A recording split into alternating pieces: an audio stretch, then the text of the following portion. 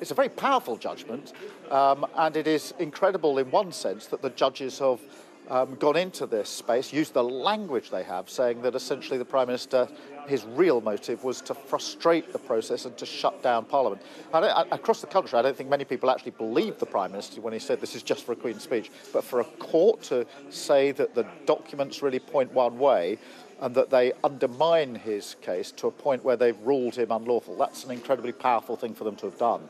Um, Joanna Cherry and the others lost at first, I think, in the High Court in yeah. Scotland. This was the appeal, and of course, the government's now going to appeal to the Supreme Court in London. Um, you're a former DPP, you know about these things. What are you expecting in the Supreme Court? Well, well, the Supreme Court will come to its own decision, but don't underestimate this. I mean, courts are quite used to saying that government's acted unlawfully because they've misinterpreted the law or something like that. That's not unusual.